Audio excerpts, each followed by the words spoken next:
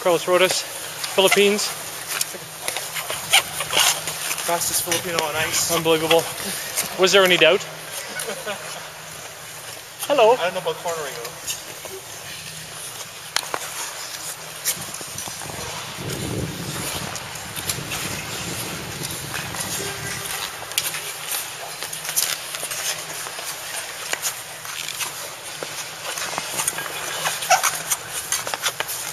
There you go.